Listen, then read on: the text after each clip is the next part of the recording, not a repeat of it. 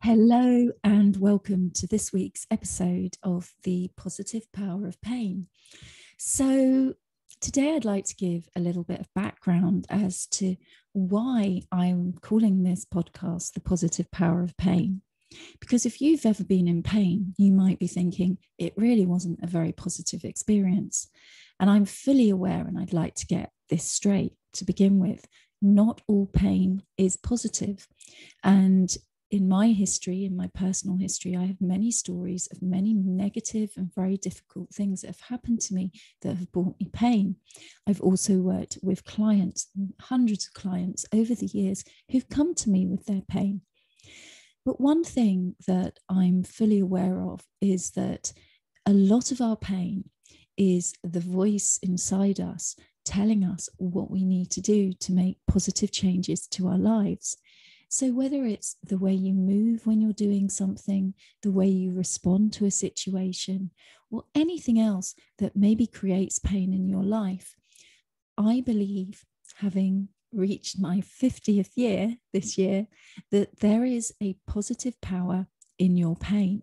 And it really is just a question of harnessing that and seeing how you can maybe help to change your level of pain, which then creates positivity in your life and sometimes allows for new things to come into your world which you literally could never have dreamed would be possible.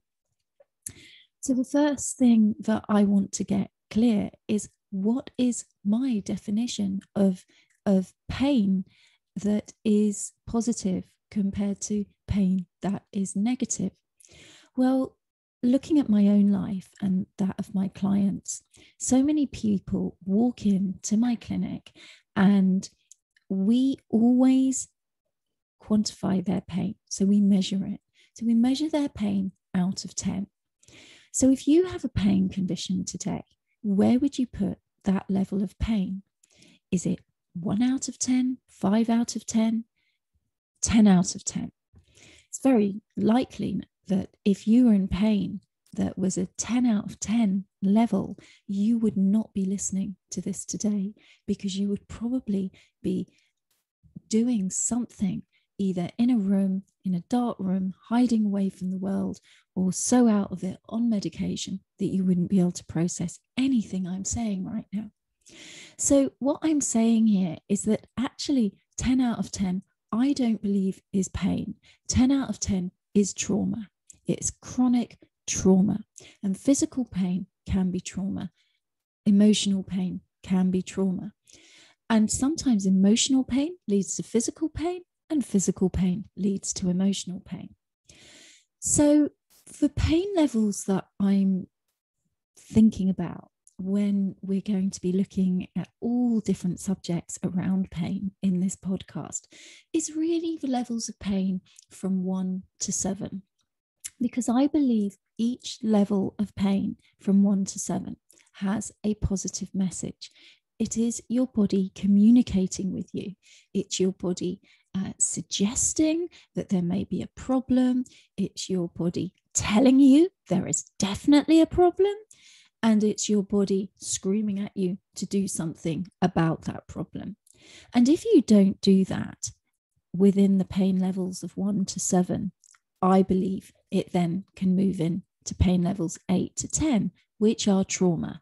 And even though in in hindsight you may at points in your life look back at traumatic episodes and say actually i can see the positive in that i believe when you're actually in those experiences it's very difficult to harness in the moment the positivity of what you're going through.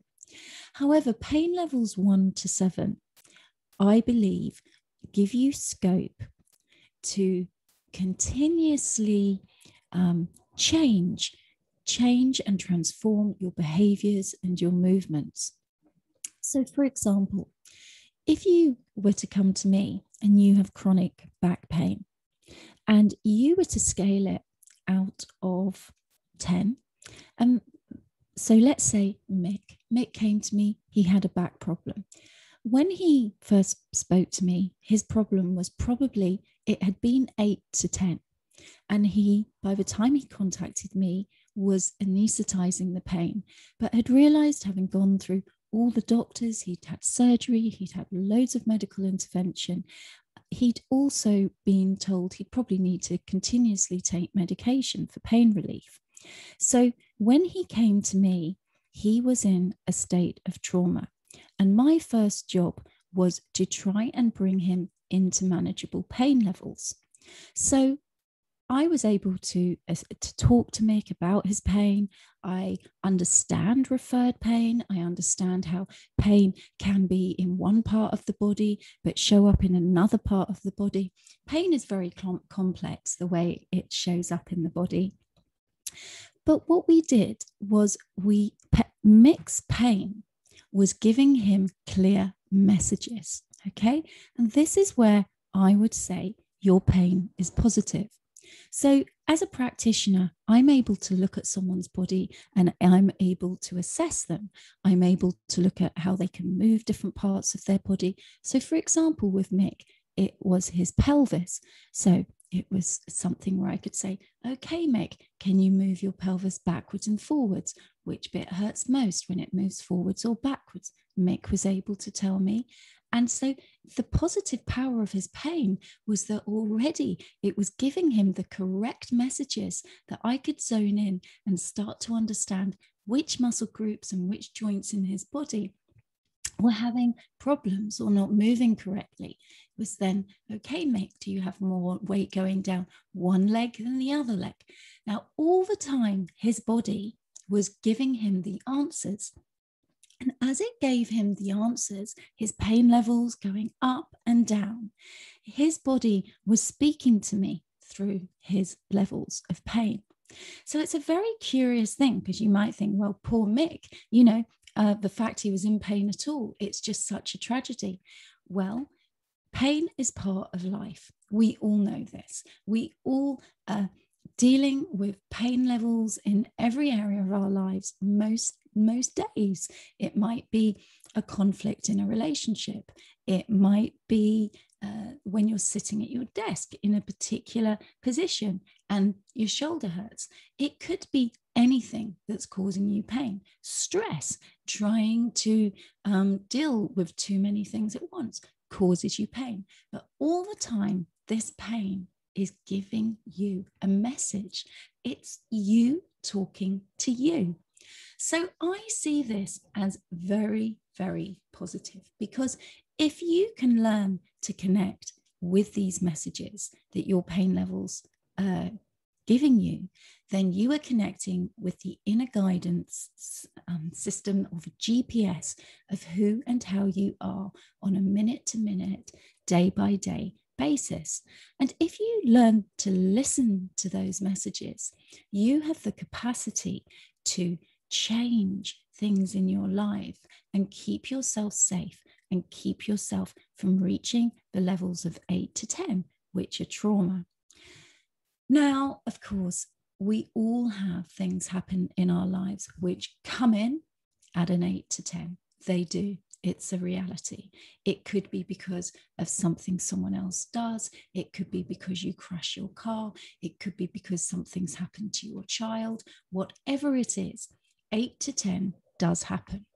But the more that you can build your relationship with your pain levels of one to seven, the more you will have the capacity to deal with pain levels eight to 10 when they come and knock you over the head.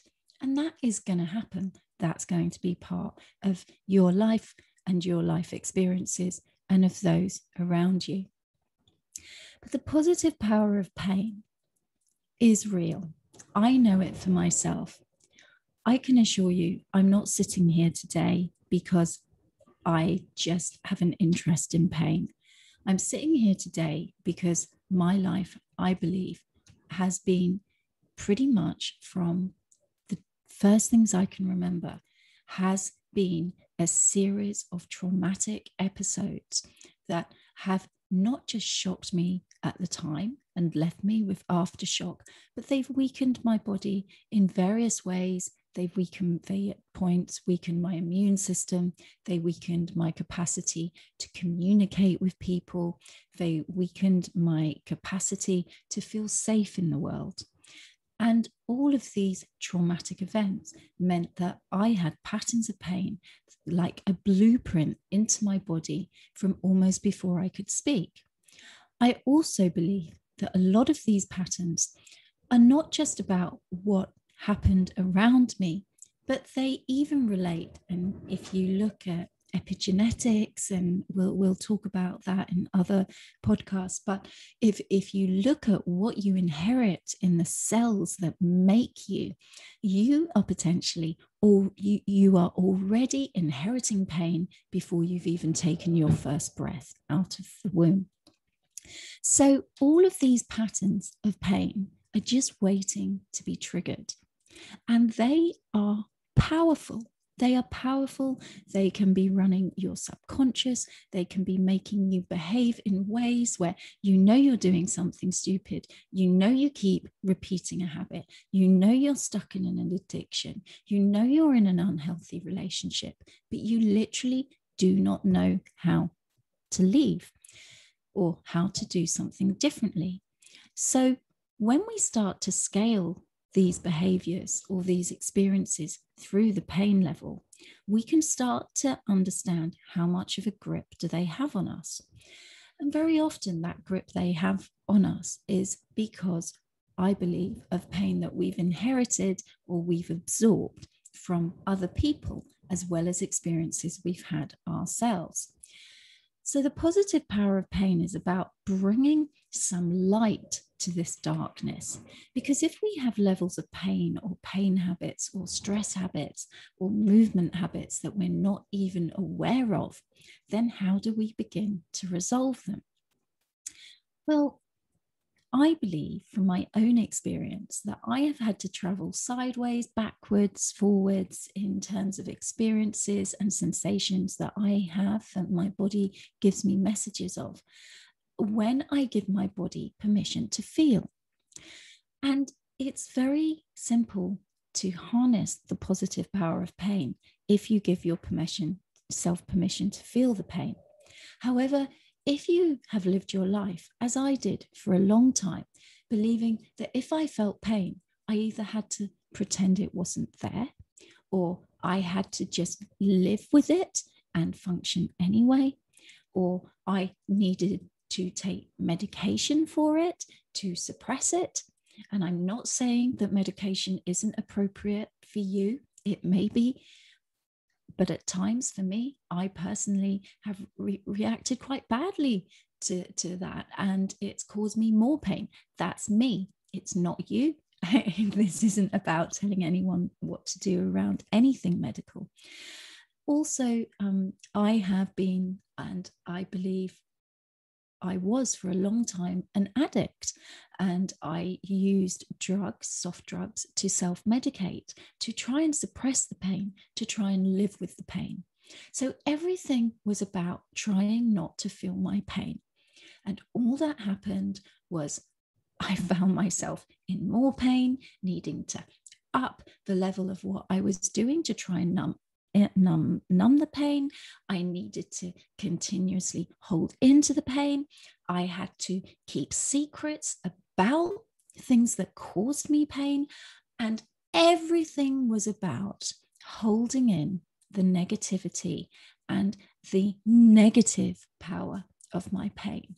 And all this continued to do was give me more of the same, more negative pain.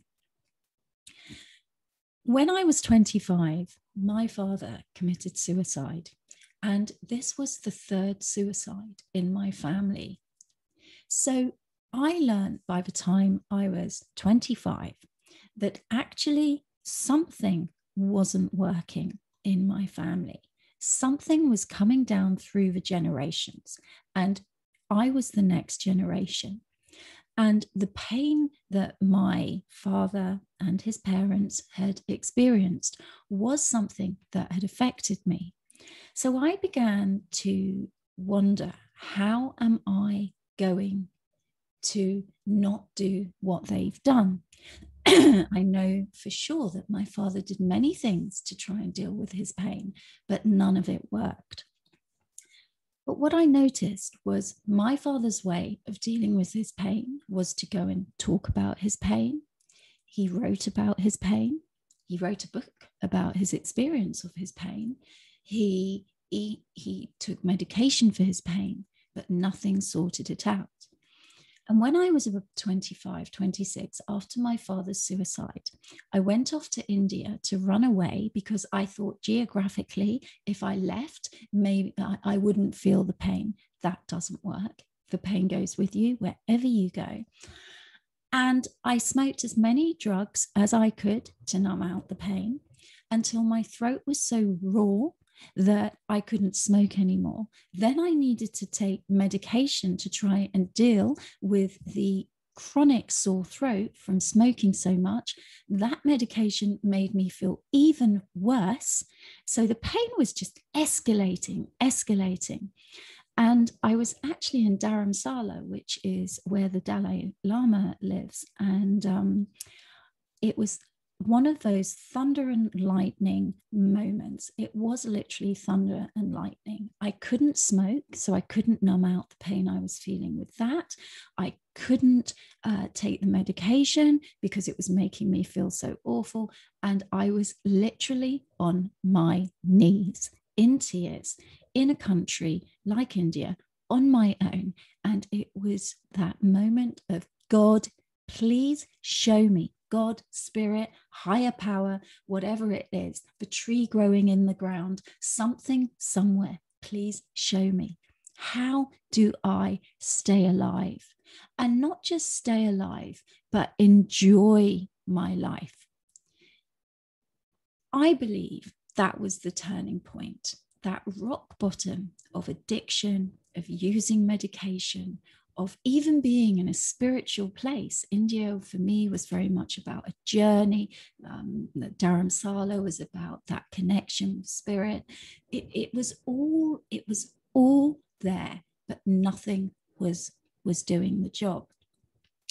And at that point, something in me just said, "You need to go inside. You need to start the journey." The journey of rather than running away from the pain, rather than trying not to feel the pain, it's time to go in and connect. And as I sat there for the next few days, barely able to smoke my joints and um, cannabis, desperately trying not to take the medication, I found Tibetan doctors. And I began to learn from Tibetan doctors that they their their medicine is actually nutrition. So their medicine is beautiful. They take it and and they have rituals around the time when they take it. And it's actually they they almost look like rabbit droppings of the tibetan medicine. But they are made of herbs and minerals and all kinds of things. And i I spoke to this Tibetan doctor. I was a complete wreck. And the Tibetan doctor began to look at certain parts of my history, my physical history, my emotional history, and prescribed me these beautiful things that looked like rabbit droppings. They tasted disgusting, but she said she was saying to me you take this then you take this then you you say this when you take that and you do this when you take that and you take this on the night of the full moon. It was it was something that was so new to me. But it was all about starting to connect with my pain and do something slightly different. What i realized a few years later was that this Tibetan medicine was actually full of minerals. And I had had a history. I, am celiac, and I had had a history of completely not being able to absorb um, and, and being very ill in my late teenage years. And even though I got my strength back once I was diagnosed, I realized it wasn't until I started taking the Tibetan medicine that I got my power back. At this point, when I was in India and I was under the, the um, wonderful um, knowledge and support of these Tibetan doctors, my health began to thrive. I began to get well. I began to feel different. And the stronger I got in myself, the more I could begin to connect with pain that I was still feeling because I was actually stronger in the first place to be able to connect with it and feel it. Now, that is 25 years ago. And a lot has happened since then, and a lot happened before then that has created why I now see a real positive power in pain. It was my pain that day that got me on my knees. It was pain that couldn't be buried, that couldn't be suppressed, that couldn't be healed with pills. It could be suppressed, it could be medicated, uh, but the cause of it was never going to be dealt with. Over the last 25 years, I personally have had a lot of experiences that some of them have been very challenging and some of them have been incredible. Through the last 25 years, I have needed to process why three suicides happened within my first 25 years around me. I've had to look at the pain. I've had to feel into how the behaviors of those people who were suffering their pain impacted my life. So a lot of that pain was inherited. It wasn't even actually my pain, but it became my pain.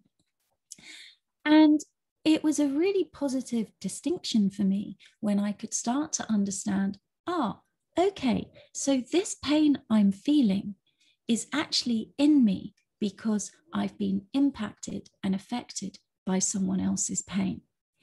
Now, when you can start to do that, you can begin to think about what is yours and what, what, what have you absorbed. And different things trigger on different days. Have you ever been feeling absolutely great and then you've witnessed something or heard something and it's triggered you into your pain? So when that happens, that's a voice inside you triggering and lighting up something in you that is unresolved. And if that's unresolved and it's in you, what I have learned is you are likely to keep getting that triggered and attract more of the same pain until you can go in and you can connect with that place of pain, feel into it, breathe into it, and possibly need to do a process that releases that pain. Those trigger moments, even though they may feel like the darkest night at times, they can be the most positive things that help you nag- navigate unconscious pain that's lying dormant within you that can be triggered at any time. And why is this important? Well, what I've seen in my own body and in other people, um, in many of my clients over the years, is that if you have dormant pain that you've suppressed and it can get that easily triggered by seeing something or watching something on TV and you feel that sudden surge. And sometimes our pain is just that we feel so sorry for someone else. But sometimes, and I know you know this experience, sometimes something triggers you because of something that's happened to you. Well, that is lying dormant. And actually, that can become dis-ease. It can it can become a systematic disease. It could become a headache. It could become a digestive order because you're holding that somewhere within you. And it can also become a chronic pain condition. So many people come to me they might have a back problem or a shoulder problem or a neck problem.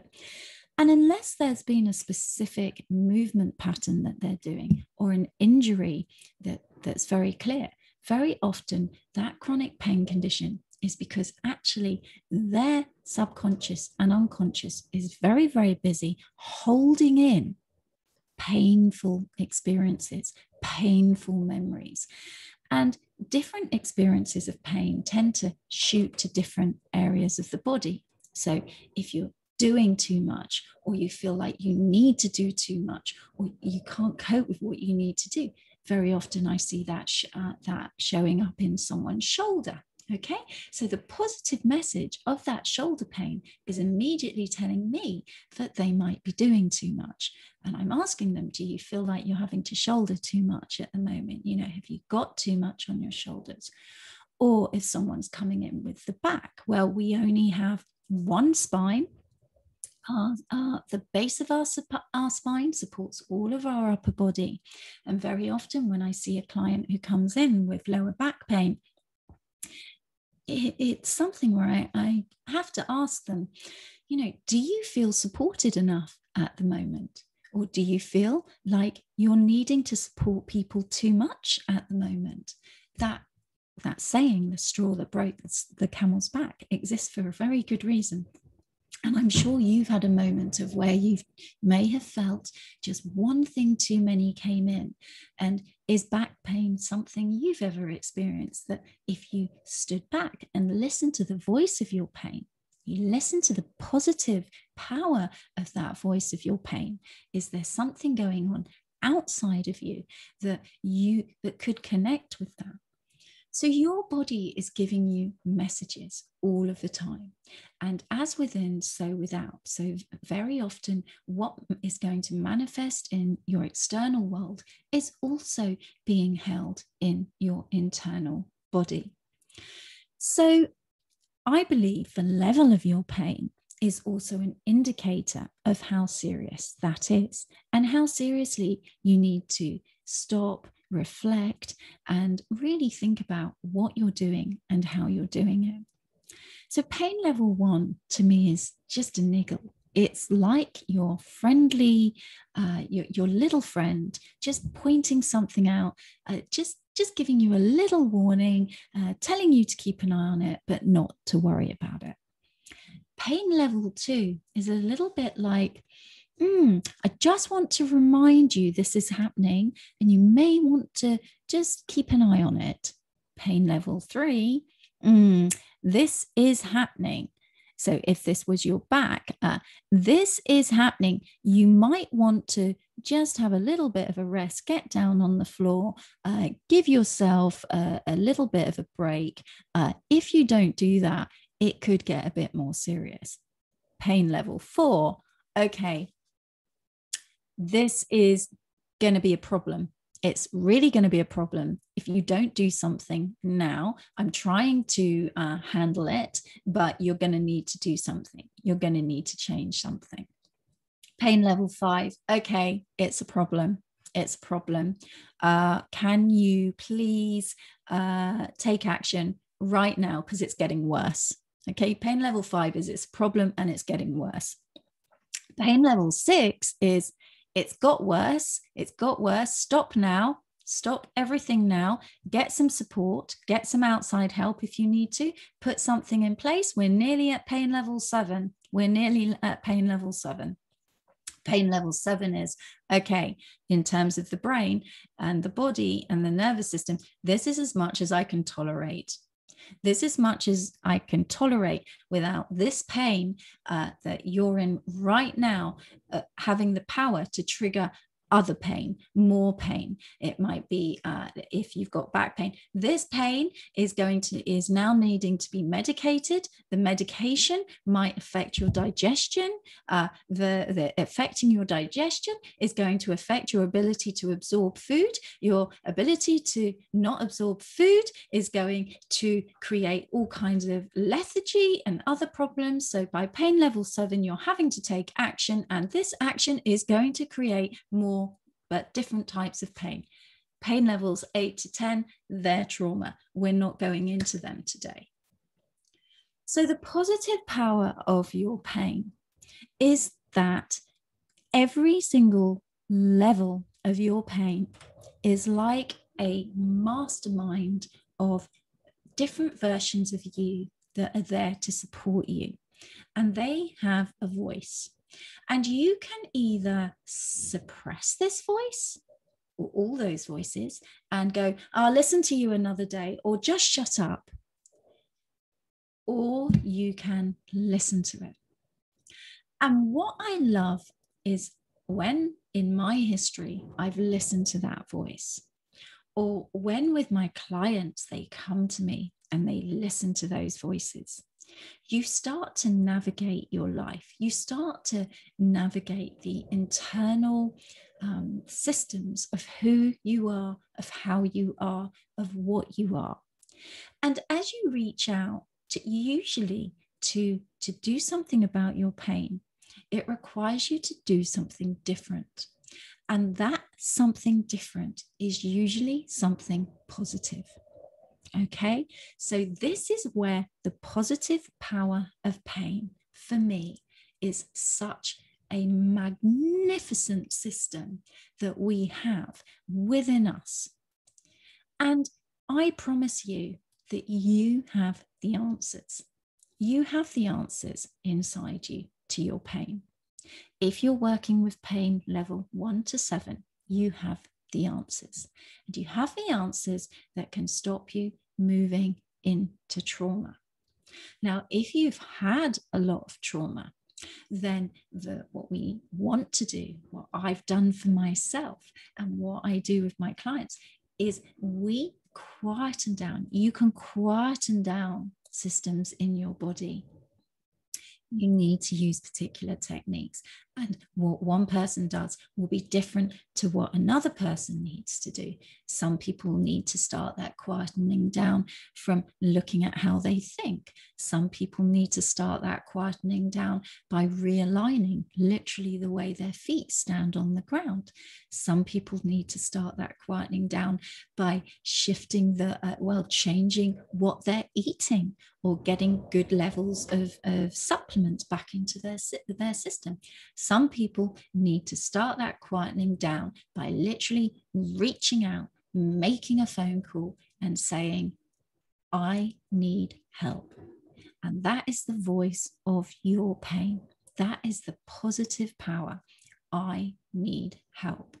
I am allowed help. I want to get help. I've had enough.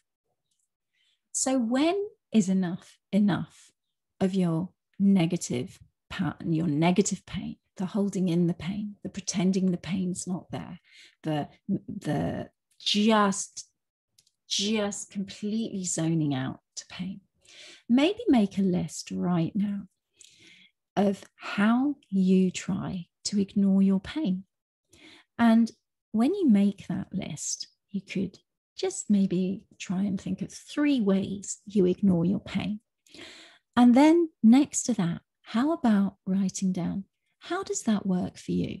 How does that uh, particular method of ignoring your pain work? Does it create positivity in your life?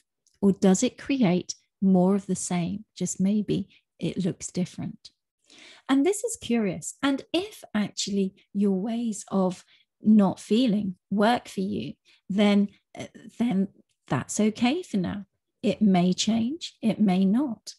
But if it's not working for you, if what you've been doing, if the reason you're listening to this right now is because you need to find some positive power in your pain, you need to do things differently, then I have methods that I've used, and obviously there are many different ways of, of addressing your pain conditions. And I believe we are attracted to the right person at the right time. We're all on this pain journey, this inner pain journey, and it's our guidance system, our inner guidance system. And when you release that pain or you listen to those voices of that pain, I believe it only ever feels good, even when you might feel utterly broken. If you feel utterly broken because you are connecting with your pain, you are in the process of releasing and healing that brokenness. And that is really why I want to create a podcast called The Positive Power of Pain because I know for one, both from my own experience, and I have a lot. I, I, I have a portfolio of pain experiences, and I believe that the positive power of that is it makes me very good at what I do. I can hold space for people in pain. I can see people in pain without it triggering me so that I don't want to be with it anymore. And this is very, very important as a practitioner. Okay, so overall, the positive power of your pain is present. And it's how we can harness that for you today, uh, even in small, incy, bincy, incy bitsy steps at times, because you may be so challenged that the thought of doing anything might seem too much if that is the case, then always my first thing is um, active rest. And I have a process called the 10 minute fix, and that's my gift to you. So I will put the details of how you can access that, and it will enable you to immediately feel supported on the ground, connect with your breath, and in turn connect with your body. So, if you're in physical pain today, you will be able to support and and explore and release and relax that area of your body. If you're in emotional pain today, you probably need support. So, the first thing you can do is you can get down on the ground. And when your nervous system feels the support of your ground, the ground, and you start to breathe in a particular way, then your nervous system moves from feeling in life threat or fight or flight, it moves into a space where you can begin to think about things and process things slightly differently. And that is when you can start to access the positive power of your pain. So do go and uh, try that that process and you can get in touch and find out about other courses uh, that you can do. So, another course that I have is the Get Into Your Body course. And this is where we're really interested in looking at physical pain you feel in your body and looking at the structural alignment of your body. You know, how do your feet connect with the ground? How do your feet connect with and support all the weight of your body going down through them? And get into your body is an um, uh, just such a special course because you get to learn about you and access what causes a lot of your pain. And we teach you to understand that, understand how your body works, how it's meant to move. And as you access the cause, very often, simply by using movement to access it, that very movement can start to treat it. So the voice of your pain from that place brings us to focus on that area and then you can do something different and you as well as learning something very often a byproduct is reducing pain levels Another um, course that I have created is the Ixchel System DNA Pain Re- Relief course. And that is because I believe, from my own experience and those of many of my clients, that a lot of our pain is caused by our interactions with our environment, with our family, or with other relationships we have, whether it's in the workplace or in our community and so part of it is that the what we are absorbing and what we are holding in our body. And part of it as i said earlier is what we actually inherit through our dna and our genetics. And then when we put that together negative things that you may have inherited or things that are going on in your life and we look at are those experiences that you're having aligned with your truth and values of who you truly are today? And if they're not aligned and you you feel out of kilter with what you really believe what you know to be true then this can create a lot of discomfort and that slight out of alignment is another voice of your pain and it's very positive to get the distinction between these two areas are you living in your truth? Are you living in a world where you feel aligned and that you resonate well with everything going on around you? Or are there things that feel completely out of alignment because of patterns and characteristics that you've either inherited or created to survive, uh, which is ultimately what we are all trying to do. But the Ixchel DNA pain relief system is there to help you move from surviving to thriving. And the what we what I do is I teach you to journey in and connect with things in your history. It may be a calling from your soul. It could be literally what you've genetically inherited uh, and in your dna and we go in and we connect with those patterns that might feel disturbing or painful keep you trapped in fear or anger or grief, whatever it may be, and we move it. We move you from the darkness of, ne- of negative pain to the positivity of um, of positive pain because we bring in the light to that situation and you have the ability to start transforming it.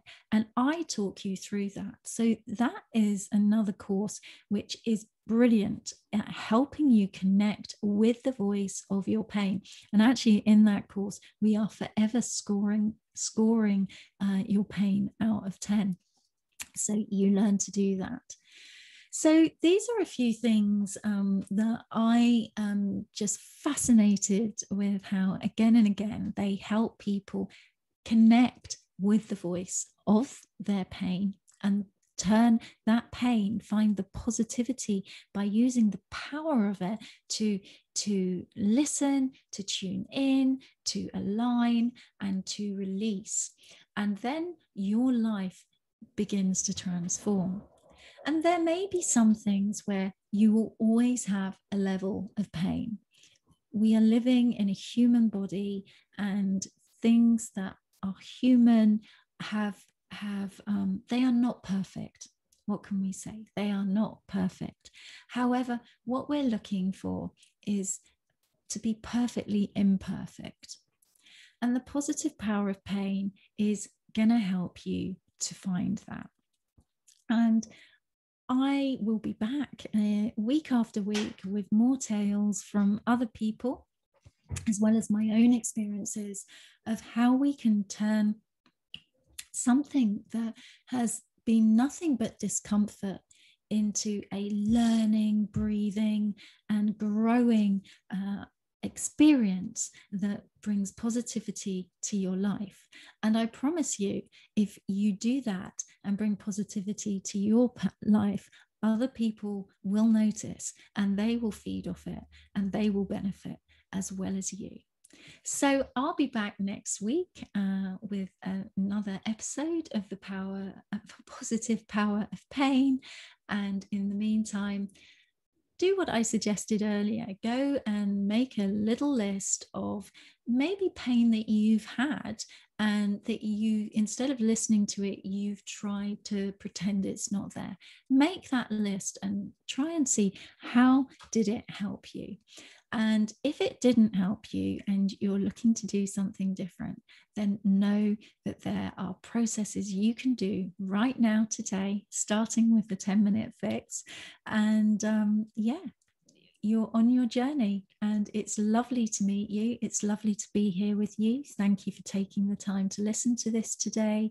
And I'll look forward to seeing you again soon. Bye for now.